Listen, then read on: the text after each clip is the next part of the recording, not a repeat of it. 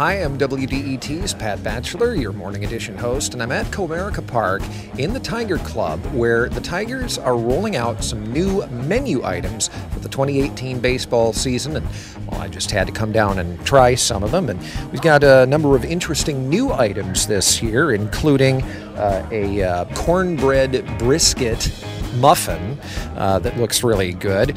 We have uh, a power greens salad and some fruit, buffalo cauliflower.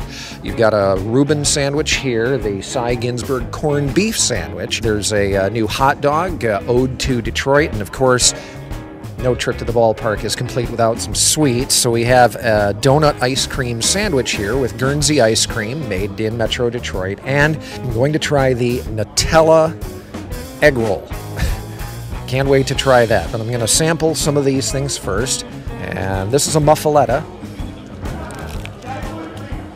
I'm getting crumbs all over myself naturally.